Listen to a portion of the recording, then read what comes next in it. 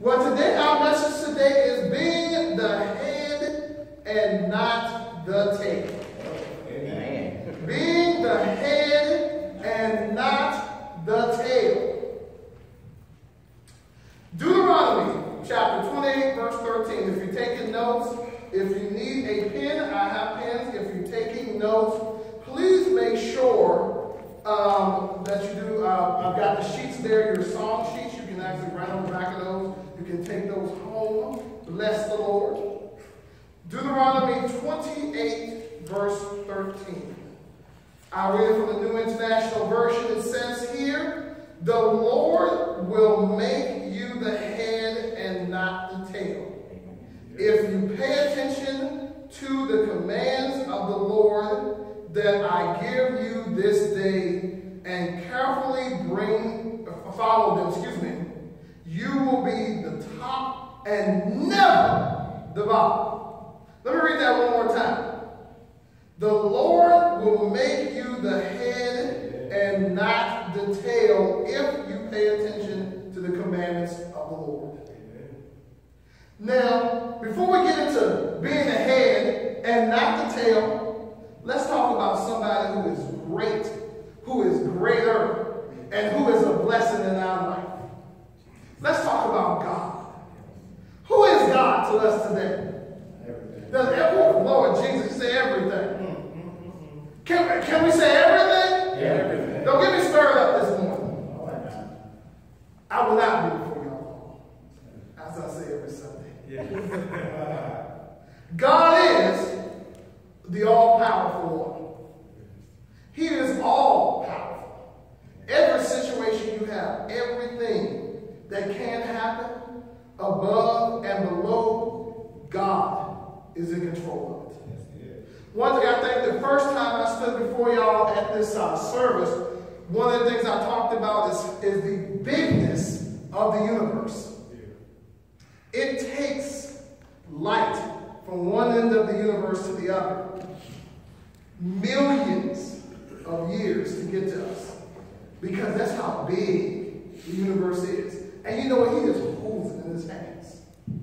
Whew. He made all things. He made the world. He keeps the world. And he also made us. Who in here is fearfully and wonderfully made? Mm, Jesus. He is the greatest, the biggest, and the baddest. God is love. He is good. He is perfect. God is worthy of all praise, and he is enthroned in heaven. We can think of a whole lot of more things to say about God. We can talk about that time where we were sick and he raised us up. We can talk about that time where we were going through and he brought us out. We can talk about that time that he paid our bills. We can talk about that time where he raised one of our family members up. Amen. We can talk about that time when Open Arms put out advertisement in the magazine. We got to read, and ain't nobody come, and we have no building, but the Lord is faithful. Amen. Woo! We ain't stirred up today. But then after we say all these things, he says something that is peculiar. A very, very peculiar thing. I'm going to read this here, Genesis chapter 1, verse 26. Then God said, Let us make God in our own likeness, so that they may rule over the fish in the sea, the birds in the sky, the wild stock, wild stock, excuse me, livestock, and all the wild animals, and all creatures that move along the ground. But let me, let me go to the first part again. Let us make mankind in our own image. We talked about all those great things about God, but wait a second, he said that he made us in his image. So if he made us in his image, why? What does the Bible say? Why are we so downtrodden, oh my soul? Hmm. Why? Why do we accept the position as the tail and not the head? Hmm, hmm, After we said all these great things about God, He created us in His image. Why are we in a mess of our minds and our spirits sometimes? Let us pray. Dear Heavenly Father, I thank you for your blessings. I thank you for your power, your anointing. I thank you that you have blessed us so much to be here and that you have already proclaimed this word that we are the head and not the tail. Amen. Amen. Now, we have talked before about the rightful position that we should be in Christ. But now I'm going to talk just a little bit about claiming that rightful position. Who are we in God? And what does it mean? Number one, we are God's beloved children. Remember that. We are God's beloved children. Now, I was actually reading um, a news, I was reading a news article, I actually posted on Facebook this morning about a kid who was actually disowned by his parents. yes, yes, yes, yes. And so we go out here, and it's so interesting how we do because we just get the word all wrong. How do we disown our children when Jesus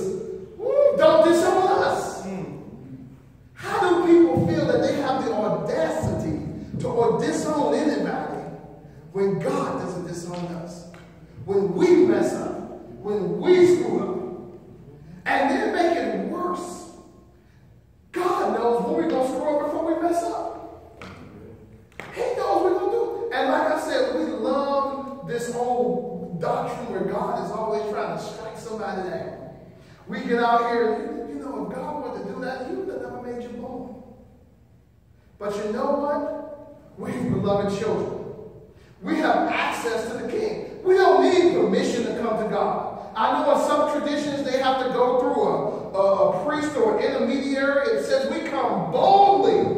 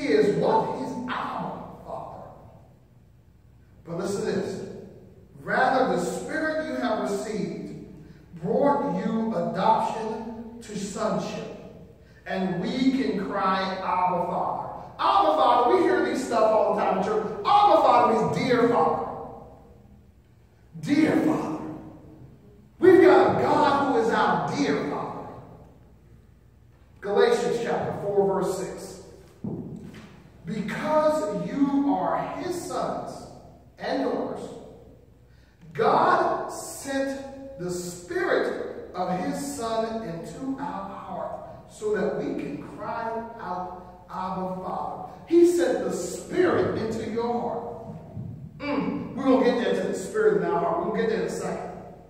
Number two,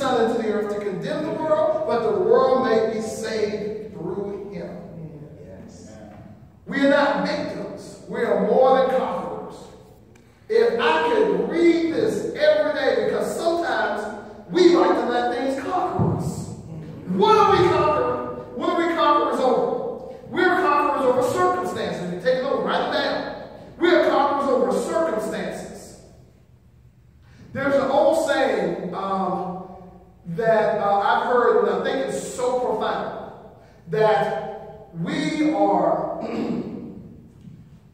life is 90%, or excuse me, 10% of what happens to you, and 90% how you deal with it. 10% how, what happens to you, and 90% how you deal with it. I used to work for, uh, you know, we used to work for, I used to work for Warren Buffett.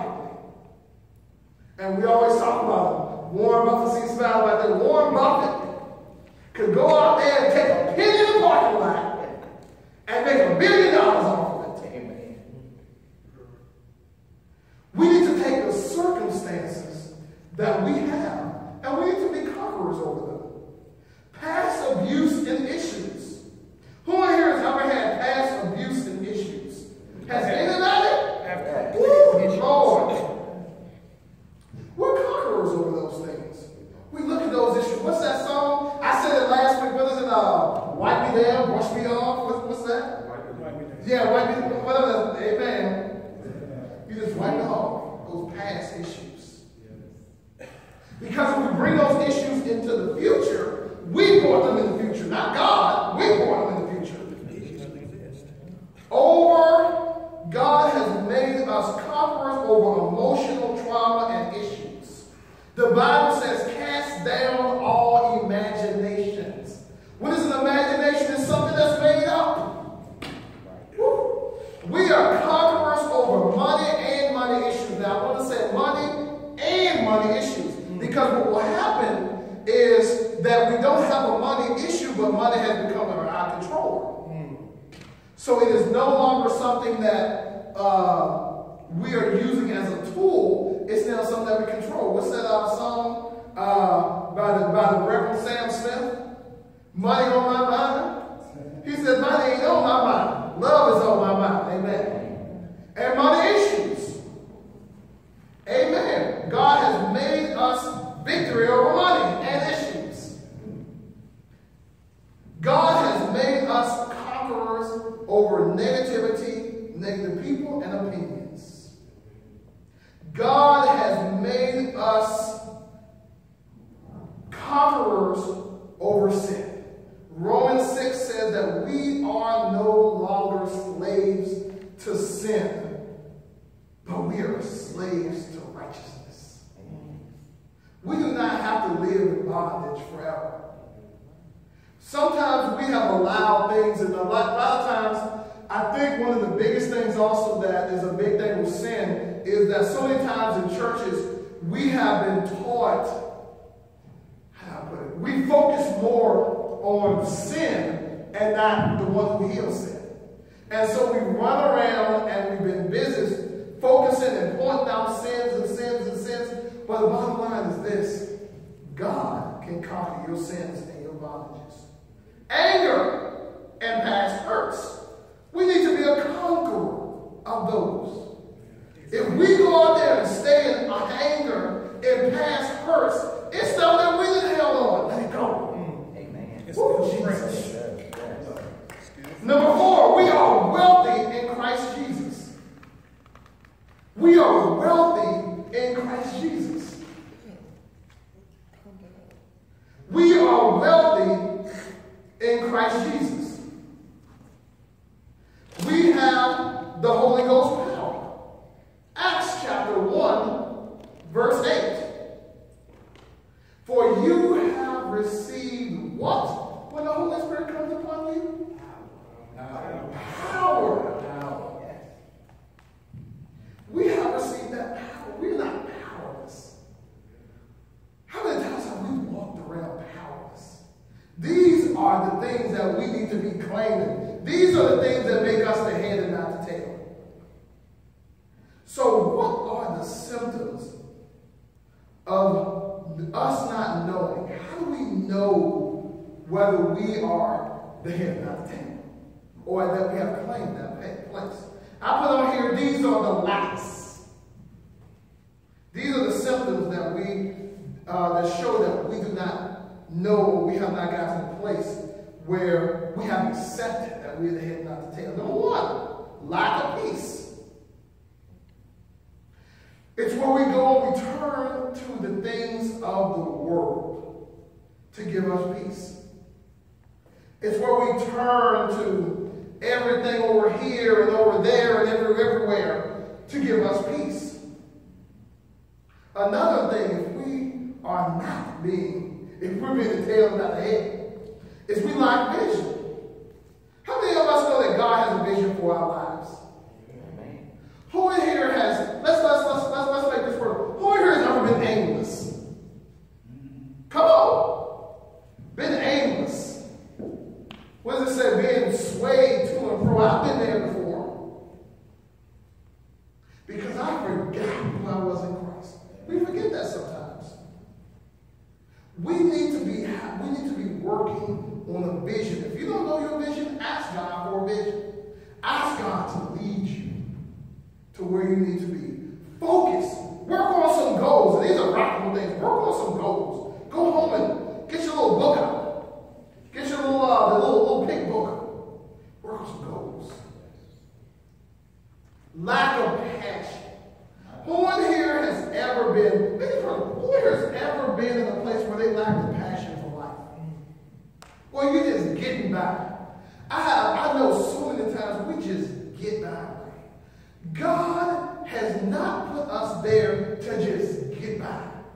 He has made us to be what in life? More than what? More than a conqueror. If we are living in lack, we lack love. We lack love for ourselves, and we lack love for others. If we don't, if we're walking in a place where we have not accepted the position that God has called us to, we're walking in a lack of love. We have love everybody. A lack, here we go, a lack of a distinction in Christ. Let me put that in plain terms.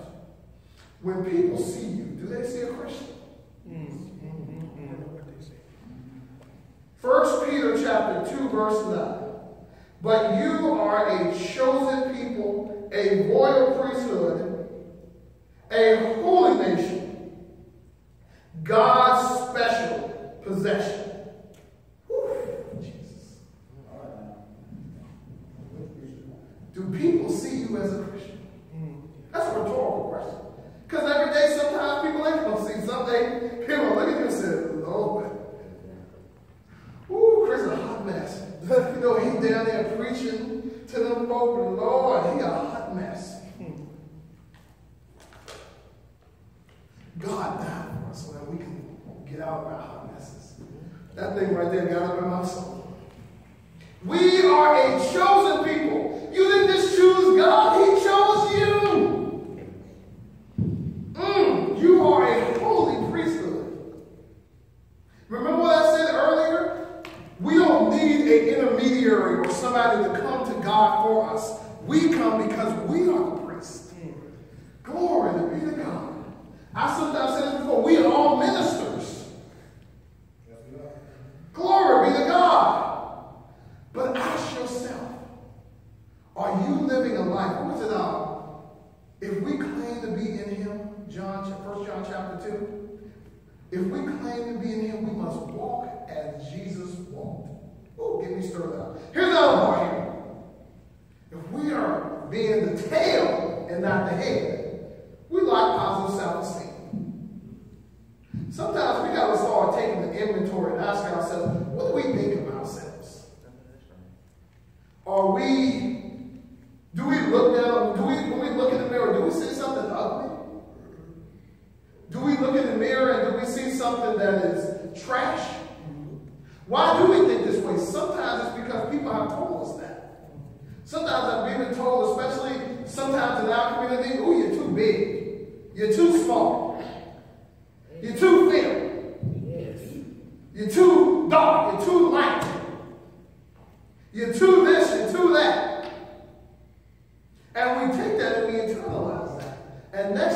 we sit here just all low self-esteem and people, people go out here. I was talking to some brothers the other day. They, they come out there and they're telling me, well, you know, I can't get this and I can't do this. Sure, you can't get this and can't do this because you don't believe that you deserve this. You don't believe that God has ordained this for you. So yes, you ain't getting nothing. what keeps us from being the head and not the tail? Deuteronomy 28, verse 13. We're going to focus on one part of that verse here. It says, if we pay attention to his commands. So it says God will make you the head and not the tail, but then it says, but if you pay attention to his commands. Now let me ask you real quick. Who in here has ever uh, rode on an airplane? Who in here has ever been to a doctor? Who in here has never rode on a plane or ever been to a doctor? Amen. So let me tell you, let me ask you a quick question. Suppose you go in there to the doctor and you got a headache and something's going on with you, you're really sick, and the doctor tells you, well, we're going to do this. And you ask the doctor, well, wait a minute, that just don't sound right. And the doctor tells you, oh, well, that's okay because I haven't, I haven't caught up on my medical school stuff. I haven't did that in 10 years. Now, if you know anything about a doctor, they have to go back and study every, every, I think it's every year, every two years, they have to go back and do a practical where they go and they have to get caught up on all of the new information that's out there. Otherwise, if they don't do that, they'll still be bleeding people and putting leeches on people to try to get demons out of them. that's what they used to do. They used to go out there and drown witches. You got sick over here. We know now that you need some penicillin. Back then it was, oh, well, let's drown a witch. Now, if you've ever been on a plane, there's one fun thing I like about the plane is that you'll, you'll, you'll watch, and when you, when you see the plane come in, the first thing the pilot will do is what he'll do is he'll he'll get out there on the tarmac, and will walk around the plane. He walks around, he looks at it, he or she, he touches the plane. He points at stuff, he looks at stuff, and physically looks at it with his eyes. What if your pilot didn't go to school? What if your pilot, now, now, now, planes get, you know, they take planes and, and, and get new ones and nicer ones and everything. You know, I remember when we went to Florida. One plane was old as dirt. then we got a nice plane that had these nice little monitors that told you how high you were, how fast the thing was going. That thing was going 514 miles per hour, and outside was negative 41 degrees. That's what it said. I said, now suppose when you're up there at 38,000 feet, that pilot came out there and said, hey, player, I haven't been practicing. I've never flew this plane before. I haven't took taken any classes. I haven't done any of this stuff. I'm just trying, I'm just, I'm just trying, I'm just winging it. There are no parachutes on planes. That would be your last day. you start praying. You pray that what you must do, you pray, you better pray that you pass off the way in the ground. But that's how we do in our spiritual lives. Where's our Bibles at? We go look for our Bibles. Are they in the window in our car? Are they so faded, happy, Holy Ghost? I hope I'm not condemning them. And what no, is our Bible up in the window? And is it so faded that it don't open when we try to use it? When was the last time we picked up our word? This is not a condemnation. This is an admonition, an encouragement. If we want to know how to be the head and not the tail, we got to get the instructions. We got to start reading that word. And as we talk about every Tuesday, if you don't know how to read, if you're not good with the reading, the Bible will read itself to you. We live in 2015. The Bible will read, it'll read to you in the English voice. It has a woman who reads it to you. It has an American man, has a British man who reads it to you. Get in and start reading the word. Get in and study it. Look at how many other things that we study that we don't study the Word of God. Think about that. Suppose your pilot, instead of studying that plane, he goes out there and he says, Oh, I didn't feel like at the plane. Did you see this post on Facebook? Do you see this girl's edges? Do you see her weave? And he told you that? You, you ain't gonna make it that day.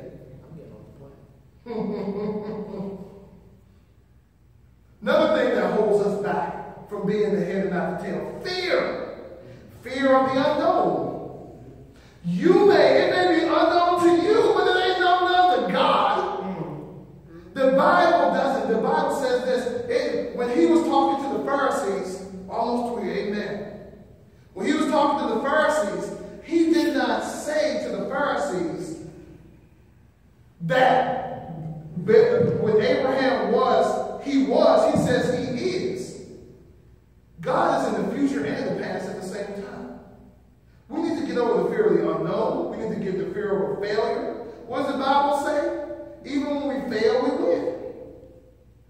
Fear of uh, one of the other things that holds us back from who we are in Christ is ignorance and misinformation.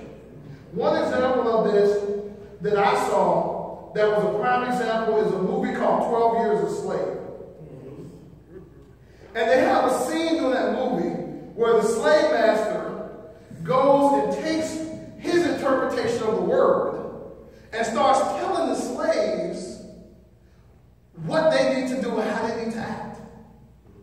He didn't quote the verse in the Bible that says, Masters, treat your slaves as you want to be treated because you have a master in heaven.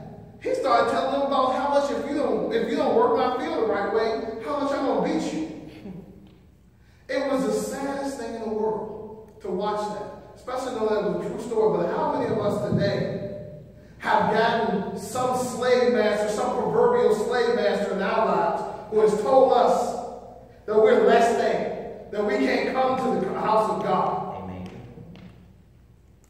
That God is somebody who is mean and is there to strike you down. How, lastly, do we claim our place in Christ? The good part here. Start spending time with the children of the king.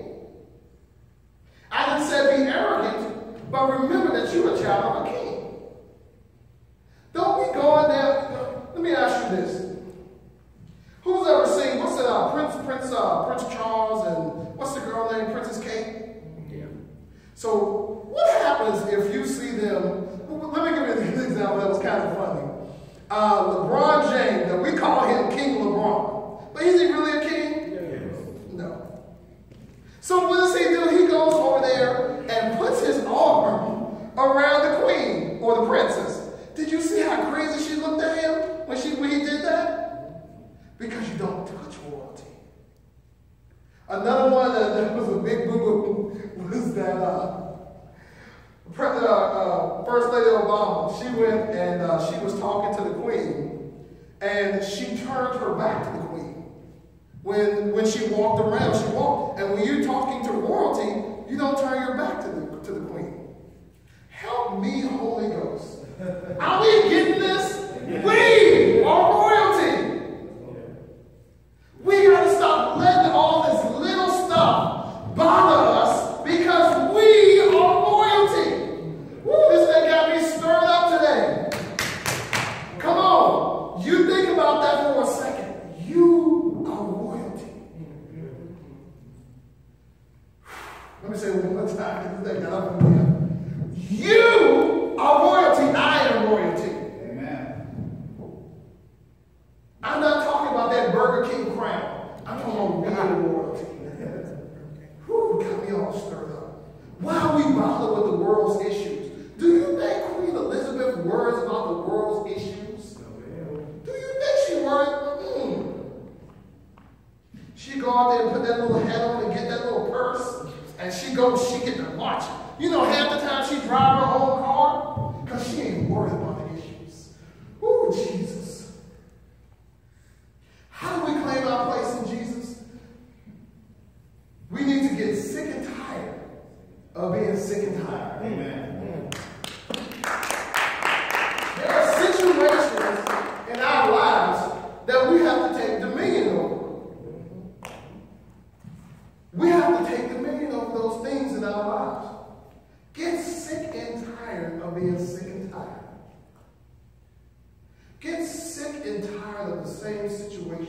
in our lives over and over again.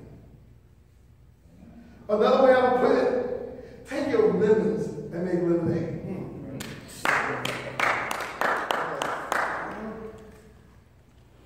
And I want to say something. This, this is really, this is a really a blessing because my mom told me one thing that was really important. I feel in my life. She pointed out. She said the Lord spoke to her one day. She and, and, and the Lord said this. He said that the Bible calls out struggles, tests, and trials. Mm. If you're at school and you fail all your tests and you fail that grade, what happens? You do it over again. Sometimes we have been, what happened for 40 years? 40 years they walked around in the desert. 40 years in that circle because they were in a test and they kept failing. Have we ever, and I'm not, I'm not being making light of this, but have we ever seen those people at school who, when we see them, they are 14 years old and they're in the fifth grade and we wonder what happened because they keep failing their test. Glory be to God. Take those lemons and make lemonade. Stop failing the test. If you keep failing the test, you're going to have to keep taking it again. If you can't walk in love, He is going to bring enemy after enemy after enemy in your life, and it's going to put your enemy in your face, and it's going to keep your enemy there until you learn how to love. Amen. Number three, be a giver. Be a giver. How do you claim to be in Christ? You be a giver. Let me teach you a word called Commonwealth. We live in the Commonwealth of Virginia. Now, where does the old word Commonwealth come from?